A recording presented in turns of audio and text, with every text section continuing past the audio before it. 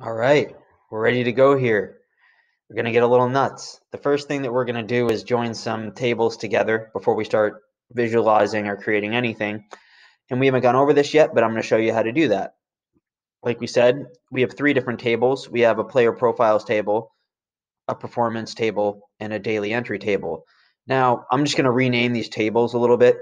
If you go to table design, table Adam, I have this name, um, TBL underscore daily so I know which is which. Come here, again, table design, TBL underscore perf for, for, for performance. And I'm going to name this one here table underscore profile or prof for profile. So the reason why I'm doing this is so I know which table is which, and it's a lot easier when you create calculations in tables or anywhere to call to call out the table's name within the formula than to go to the table and select everything in it. So I'm going to create a couple columns because what we don't have in this table, and this is kind of our our main table that we're going to use to take the information from and visualize elsewhere, is we're going to need to know your position or your cohort of interest so that your cohort of interest aligns with your name, which aligns with your data. Right now, your cohort of interest just aligns with your name. And if we want to aggregate information by the cohort of interest, Excel probably won't won't know the data that's associated with your cohort of interest or your position if we are using that. So what I'm going to do is I'm going to create a couple calculations to pull that in as well as your grades or your performance. So let's just call this um, cohort of interest. It's going to be named the same thing.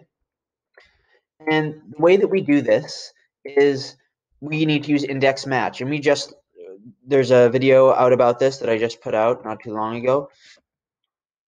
So equals index. Now it's what I want to take.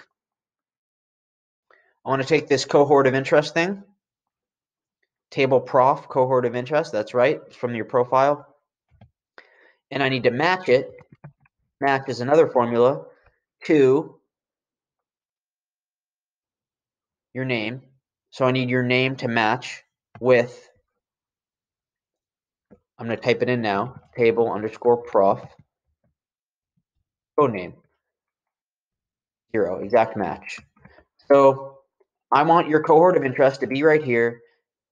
And the way that I do that is that I match whatever the uh, cohort of interest is in the player table or the profile table with the code name that's in that table and align it with the code name that's here. And if I click enter, now I should have everyone's cohort of interest for every row. Great. Now, the next calculation that I'm going to do is I want to pull your grades in or your performance grades and uh, whatever you want to call it, those random numbers between 75 and 100. Gonna use a slightly different formula here, um, just because I like I like this one better. I'm gonna do equals average or yep average ifs. Although we're taking average, what we're gonna do is we're gonna segregate it by date, so it doesn't really matter. Um, so we're gonna average ifs table prof. Oh nope, wrong table. Table perf grade. So we want the average grade if table perf, if the code name in table perf, where the grade is, is equal to this code name, or your code name. And if we just do that, I'm just going to do that, you're going to have the same. So Sailor Jerry, you got an 80. That's your average. And if I go to another date where Sailor Jerry is, right here, it's going to be 80 again because we're not considering the date.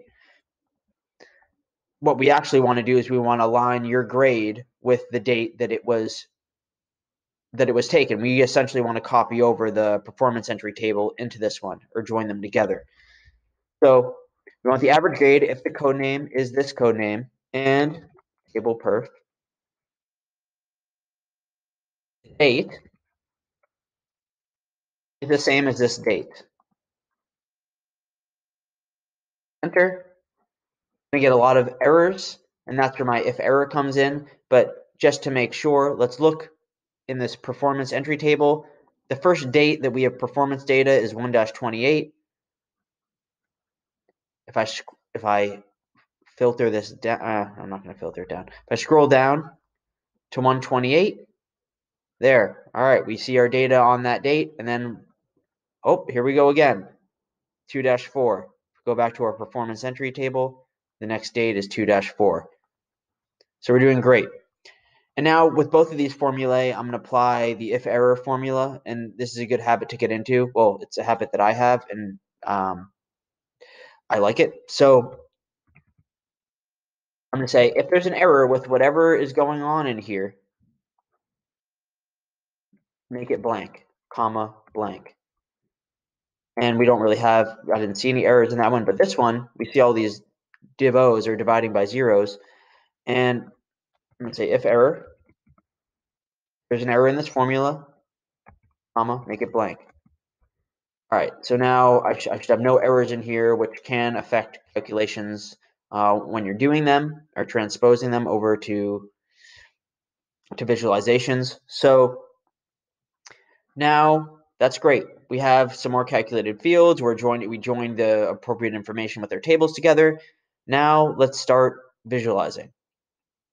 I'm going to cover the meat and potatoes of our visualization right here, where I'm just going to call this data viz, starting from scratch.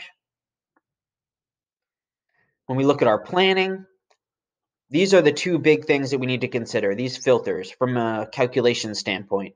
These things, the group filter and the athlete filter, are going to be dictated by slicers, which, as we'll find out, you don't need to worry about calculations um, for those. So the first thing I'm going to do is I'm going to create the class table because that's the that's the big thing. That's kind of the biggest bucket item that that we have on here. Um, and the way that I'm going to do that is I'm going to go to the player profiles because we have one profile name for each person. If I were to get it from a different sheet, there would be multiple names per person, and I would have to remove the duplicates. And I'm going to paste the names right in here. I copy them, I'm pasting them. I'm going to put this in code name. And I'm just going to select a bunch. I'm going to go down to the end of the code names and just select a bunch of columns here and go insert table. My table has headers. I'm going to check that because I just put in code name. That's my header. And now I have a table. Right now, all we have is code names. That's where we're starting out. And what we need to figure out is what order we want our metrics to be in. That's a big thing, and it's going to take some time to think about. But let's talk about what's important to us. What we're showing here is we're showing class attendance, we're showing injury status, we're showing wellness, and we're showing exercise information. I guess it would probably make sense to display that information in the table as well. So when I go to our daily entry, all I'm going to do right now is I'm just going to copy these these headers of all the things that that might be relevant. And I'm just going to paste them up here just so I know what they are. Then I'm going to add a row. This is, this is more or, organizational. So maybe the first column that I want is attendance. And this is just these are just notes for me, right? I want attendance. I want injury status. I want whether or not the person exercised. Those are the three kind of not yes or no questions, but general categorical questions. And then maybe we'll get into some some uh, readiness. Here, I'm just going to add in another row to make it less convoluted. So let's go sleep quality, energy, stress. I'll put these in the order that, that, that they were in to begin with. Stress, sleep quality, energy, and then we have an overall readiness score. So we covered readiness. Now, if we go into exercise, maybe there's RPE, say exercise, duration, SRP, the calculated field that we have. So the plan is to show their attendance status here, their injury status here, and their exercise status or their most recent exercise status here based on the date that we have in our filter. So let me just put this date picker. We know that we need a date and we know that we need a past past X days option. These are key things to consider when we're building this out. And that's that's all I'm going to go through for for this video. In the next one, it's going to be we're, we're going to start getting into some crazy stuff. So I hope that was helpful.